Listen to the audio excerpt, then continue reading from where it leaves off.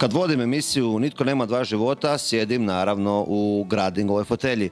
A kod kuće uz fotelju još imam i tabure. E, cijeli asortiman e, gradingovih proizvoda potražite naravno u salonu namještaja u Bedekoći.